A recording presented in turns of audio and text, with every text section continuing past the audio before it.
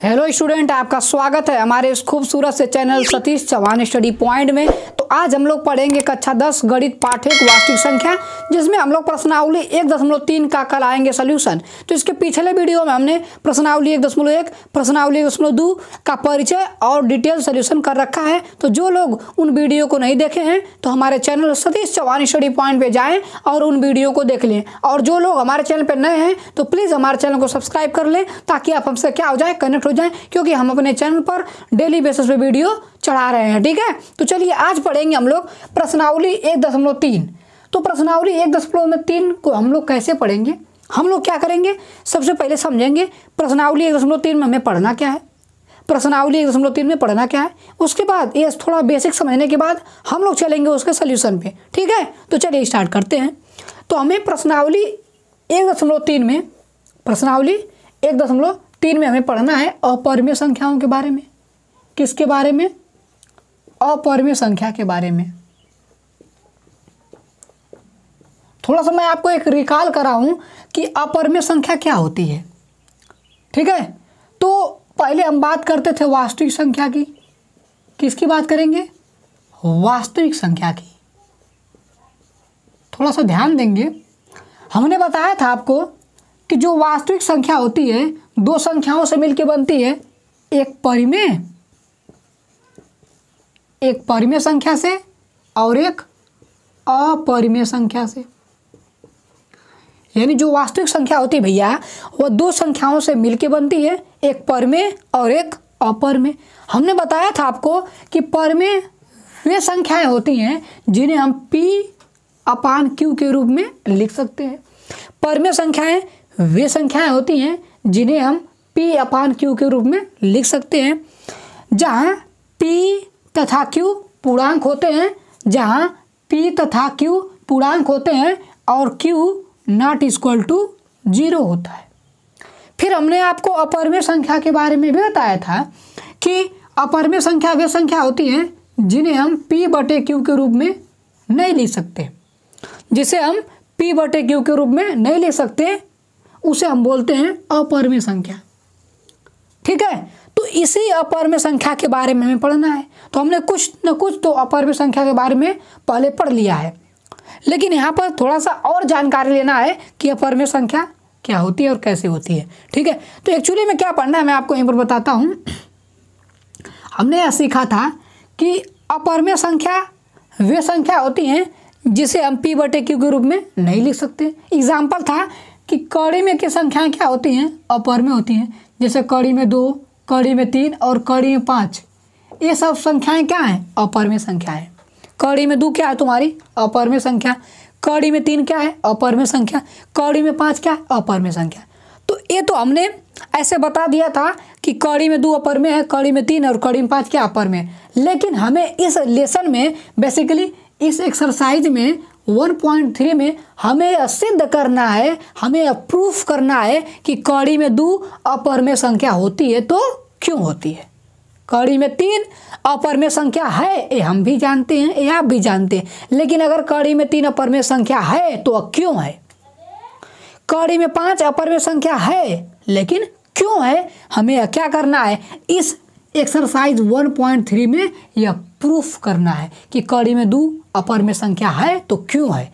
कड़ी में तीन, अपर में संख्या है तो क्यों है? कड़ी में पाँच, अपर में संख्या है तो क्यों है? है कि नहीं?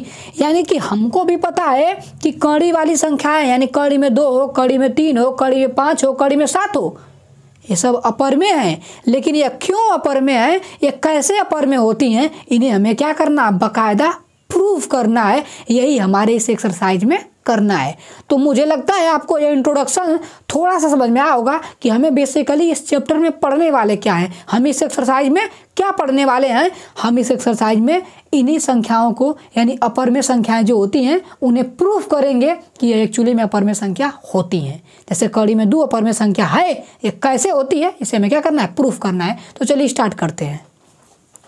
चलिए, हम यहाँ पर देखेंगे अब एक्सरसाइज 1.3 का पहला क्वेश्चन, ठीक है? इसका हमने परिचय बता दिया। अब हम लोग करेंगे एक्सरसाइज 1.3 का सॉल्यूशन तो पहला क्वेश्चन पढ़ते हैं, क्या है, और उसको सॉल्व करते हैं। देखिए, पहला क्वेश्चन कर रहा है कि सिद्ध कीजिए कि कड़ी में पाँच एक अपर में संख्या है। हमें सिद्ध करना है कि कड़ी में पाँच एक क्या है अपर में संख्या है। तो हम इसको कैसे सिद्ध करेंगे कि कड़ी में पाँच एक अपर में संख्या है। ये तो हमें पता ही है कि कड़ी में पाँच क्या होता है एक अपर में संख्या होता है। लेकिन बात रह गई इसको सिद्ध करने की तो चलिए करते हैं इसको सिद्ध। तो ऐसे सवाल को हमें सिद्ध करना होता है तो हम क्या करेंगे? सबसे पहले हम कड़ी में पाँच को एक परिमेय संख्या मान लेंगे। कड़ी में पाँच को क्या मान लेंगे? परिमेय संख्या ठीक है? देखिए, कड़ी में पाँच एक परिमेय संख्या नहीं है। ठीक है? कड़ी में पाँच क्या है? एक अपर में संख्या लेकिन मान लेंगे कि कड़ी में पाँच क्या है? अपर में संख्या। तो यहाँ पर लिखेंगे कि माना माना, कड़ी में पाँच, एक परिमेय संख्या है।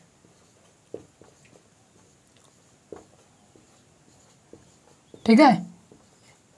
तो हम इसका उल्टा मान लेंगे। उल्टा मान के हम लोग क्या करेंगे? सिद्ध सिद्ध करेंगे। ठीक है? उल्टा मान क्या करेंगे? सिद्ध करेंगे। इसको हम लोग बोलते हैं विरोधाभास। क्या बोलते हैं, विरोधाभास। क्योंकि यह विरोधाभास है ना इसका हमने उल्टा कर दिया ना तो इसको इंग्लिश बोलते हैं कॉन्ट्राडिक्शन मेथड कौन सा मेथड कॉन्ट्राडिक्शन मेथड यानी विरोधाभास करके हम इसको सिद्ध करेंगे। कड़ी पाँच हमें पता अपर में है, लेकिन हमें इसको सिद्ध करना है कि अपर में है कैसे तो हम इसको मान लेंगे, कड़ी पाँच एक क्या है? पर में है। तो एक बात बताइए, अगर कड़ी में पाँच एक पर में संख्या होगी तो जो भी पर में संख्या होती है, जो भी पर में संख्या होती है, उसे हम पी बटे क्यू के रूप में लिख सकते हैं। जो भी पर में संख्या होती है, उसे हम क्या ले सकते हैं? पी बटे क्यू के रूप में। यानी कि हम यहाँ पर कड़ी में पाँच को लिख सकते हैं, ऐसे पी बटे क्यू के रूप में। कड़ी में पाँच को क्या लिख सकते हैं? पी बटे क्यू के रूप में। क्योंकि परमेय है, मान लिए हम तो आप सुनिए। तो परमेय है जब तो कड़ी में पाँच बराबर क्या हो गया? पी बटे क्यू के रूप में। लिख देंगे हम, अब जो पी है और जो क्यू है, वह एक पूर्णांक होता है। पी और क्यू क्या होता है? पूर्णांक होता है। तो यहाँ पर जो पी और क्यू होते हैं, जो पी तथा क्यू, यहाँ पर क्या है? पी तथा क्यू स अभाज्य है। पी तथा क्यू क्या है? स अभाज्य है। इसका मतलब समझिए। स अभाज्य को इंग्लिश बोलते हैं को प्राइम क्या बोलते हैं? को प्राइम नंबर्स। यह क्या होता है? देखिए, आराम समझिए, कोई दिक्कत नहीं है। ये जो क्वेश्चन है बोर्ड में बहुत आता है इंपॉर्टेंट है बोर्ड के लिए, इसलिए इसको बढ़िया समझ लीजिए। हमें में पाँच को अपर में सिद्ध करना था तो हमने कहा, आप में पाँच को एक परमेय संख्या मान लीजिए। जब भैया में पाँच एक परमेय संख्या है तो इसे हम पी बटे क्यू के रूप में लिख सकते हैं। पी पूर्णांक होता है क्यू भी क्या होता है? पूर्णांक होता है। तो हमने कहा कि जो पी और क्यू आप ले रहे हो वह सौभाज्य है। सौभाज्य मतलब को प्राइम है। अब को प्राइम क्या होता है? को प्राइम वे संख्या होती हैं, यानी सौभाज्य। सौभाज्य वे संख्या होती हैं जिनका मौसा एक होता है। जिनका मौसा क्या होता है? एक। मतलब कि इनका मौसा क्या होगा? यानी सौभाज्य संख्या, मैं इसको बिठाऊँ सौभाज्य संख्याओं का जो मौसा होता है, एक होता है। मौसा क्या होता है? एक होता है। मौसा एक का मतलब क्या है? मौसा एक का मतलब है कि यह किसी और संख्या से दोनों नहीं कटेंगी। दोनों किसी एक संख्या से नहीं कटेंगी। जैसे मैं यहाँ पर लिख दूँ, चार बटे छः। तो चार बटे छः दोनों दो से कट जाएँगे। दो दूनी के चार, दो तीन या छः। तो ऐसी हमें संख्या नहीं लेना है जो फिर किसी और संख्या से कट जाए। हमें ऐसी संख्या लेना है जो किसी और संख्या से न कटे, जैसे दो बटे तीन। अब यह, इसका कोई उभयनिष्ठ गुणनखंड नहीं है। दो और तीन का कोई उभयनिष्ठ गुणनखंड है नहीं, क्योंकि कोई आप ऐसी संख्या नहीं बता सकते हो कोई आप ऐसी संख्या नहीं बता सकते हो जो दो और तीन को काट दे, एक काट देगा। एक दोनों काट देगा, लेकिन एक को छोड़ो कोई है ऐसी संख्या? नहीं। यानी कि दो और तीन का अगर आप मौसल लोगे, दो और तीन का मौसल लोगे तो एक ही आएगा। दो और तीन का मौसल क्या आएगा? एक ही आएगा। ठीक है? तो हमें यही बस देखना था कि जो आप पी और क्यू ले रहे हो, वह सभाज्य है। सभाज्य का मतलब जिनका मौसम क्या हो? एक हो। जिनका मौसम क्या हो? एक हो। बस इतना ही। ठीक है? अब चलिए क्या करिए? इसका इधर गुड़ा करिए। तो कड़ी में पाँच का क्यू में गुड़ा होगा तो क्या हो जाएगा? कड़ी में पाँच क्यू बराबर पी। अब क्या करिए? दोनों पक्षों का वर्ग करने पर। दोनों पक्षों का वर्ग करने पर। वर्ग कर दीजिए। कड़ी में पाँच का वर्ग करेंगे तो पाँच हो जाएगा। कड़ी में पाँच का वर्ग क्या हो जाएगा? पाँच। क्यू का वर्ग क्या हो जाएगा? Q square. पी का वर्ग क्या हो जाएगा? P square. ठीक है? अब एक काम करिए, इस पाँच को उधर भेज दीजिए तो क्यू स्क्वायर बराबर क्या हो जाएगा? पी स्क्वायर बटे पाँच। हो जाएगा कि नहीं? क्यू स्क्वायर बराबर क्या हो जाएगा? पी स्क्वायर बटे पाँच। पी स्क्वायर बटे पाँच का मतलब क्या है भैया? मतलब यह है कि जो पाँच है यहाँ पर, जो पाँच है वह पी स्क्वायर को काट रहा है। जो पाँच है, पी स्क्वायर को विभाजित कर रहा है ना अरे यार, जो नीचे होता है, उसे भाग देते हैं ना? तो इसका मतलब क्या है कि जो पाँच है पी स्क्वायर क्या कर रहा है? विभाजित कर रहा है। मतलब कि यहाँ पर लिखेंगे, दिख रहा है ना? जो पाँच है, पाँच पी स्क्वायर को विभाजित विभाजित कर रहा है। कर रहा है। पाँच क्या कर रहा है? पी स्क्वायर को विभाजित कर रहा है। तो जब पाँच पी स्क्वायर को विभाजित करेगा अतः अतः पाँच पाँच पी को भी विभाजित करेगा। पाँच पी को भी विभाजित करेगा। समझे? यानी कि अगर पाँच पी स्क्वायर को काट देगा, अगर पाँच पी स्क्वायर को काट देगा तो पाँच पी को भी काट देगा। यह पर में है। यह क्या है? पर में है। पर में वन पॉइंट थ्री में दिया गया है। तो इस परमे को आपको डिटेल में नहीं समझना है, बस इसका मतलब समझ लेना है कि भैया, अगर पाँच पी स्क्वायर को काटेगा, अगर पाँच पी स्क्वायर को विभाजित करेगा तो पाँच पी को भी विभाजित करेगा। मतलब यह है, यहाँ समझते हैं हम ठीक है?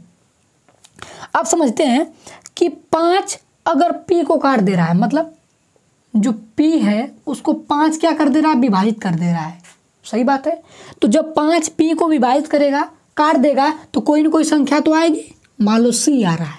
मतलब ये है यार, अगर पाँच से पी में भाग दे रहे हो, पाँच से पी में भाग दे रहे हो, भाग कट जा रही है तो कुछ बार तो जा रही होगी। तो मान लो सी बार जा रही है भाग। सी बार जाने के बाद क्या हो जा रही कट जा रही है। ठीक है? तो यानी पाँच से भाग देने पर पी में सी आ रहा है। ठीक? अब सुनो, अब पा, पी का मान निकाल लो यहाँ से तो पी बराबर क्या आ जाएगा? पाँच सी। पी बराबर क्या आ जाएगा? पाँच सी। अब पी का जो मान आया है आपका जो पी का मान आया है, उसको उठा के यहाँ पर रख दो।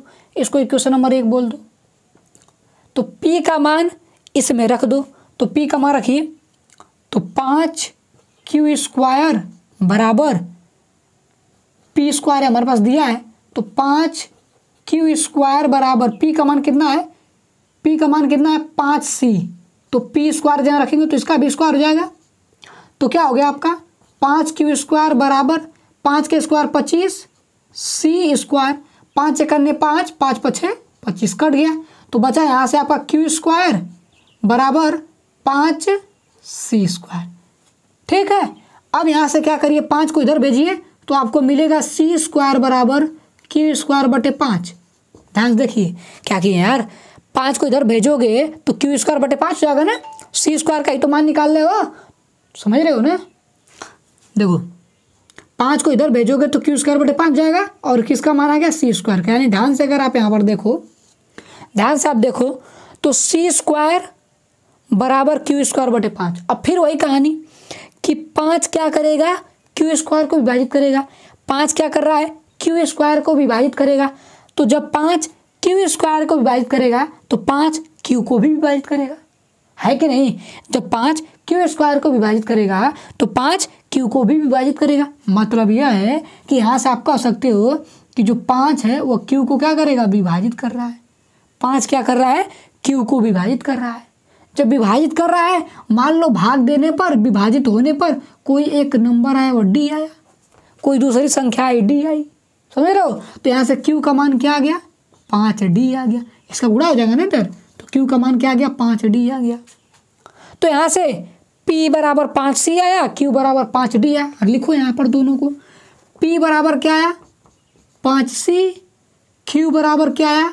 पाँच डी तो ध्यान से अगर आप देखो, अगर आप इसका मौसम निकालना चाहो तो P का मान P बराबर पाँच सी है और Q बराबर पाँच डी है। दोनों में कामन क्या है? पाँच। दोनों में कामन क्या है? पाँच। तो ध्यान से देखिए, अगर P और Q का मौसम निकालो तो पाँच आ गया। लेकिन हम माने क्या थे? हम माने थे पी तथा क्यू सभाज्य है, जिसका मौसम एक होना चाहिए। एक को छोड़ के कोई और होना ही नहीं चाहिए। यहाँ पर देखो, पी और क्यू का मौसम कितना आ गया? पाँच आ गया। तो बताओ, ये गलत आ गया कि नहीं? हमने क्या माना था? हमने माना था पी तथा क्यू स अभाज्य है। सभाज्य का मतलब जिसका मौसा एक हो। लेकिन हमने सॉल्व करते करते, पी और क्यू का मौसा कितना ला दिया? पाँच। तो बताओ, ये गलत आ गया ना? गलत आने का मतलब गलत आने का मतलब कि जो हमने माना है वही गलत है। अरे भैया, हमने ये माना तो हमें गलत मिल गया। इसका मतलब यह यह यह हमारे मानने के क्या है? विपरीत है। यह हमारे मानने क्या है? विपरीत है। अतः जो हम माने हो क्या है? गलत है। अतः कड़ी पाँच क्या है? अपरिमेय संख्या है। कड़ी में पाँच क्या है? अपरिमेय संख्या क्यों? कड़ी में पाँच को परमेय माने हैं तो इसका मौसम एक होना चाहिए, लेकिन इसका मौसम पाँच हज़ार है, जो गलत है। मतलब ये क्यों गलत हो रहा होगा? इसलिए गलत हो रहा होगा, क्योंकि हमने गलत माना ही है। तो इसलिए जब गलत माने हैं तो क्या सही होगा? पाँच क्या होगा? अपरिमेय संख्या होगा। तो मुझे उम्मीद है आपको समझ में आया होगा। तो यहीं पर करते हैं वीडियो समाप्त और जो जो भी क्वेश्चन बचे हैं, उसको हम लोग अगले वीडियो में कराएँगे। तब तक के लिए धन्यवाद। अगर आप हमारे चैनल पर नए हैं तो प्लीज़ हमारे चैनल को सब्सक्राइब कर लीजिए। Thank you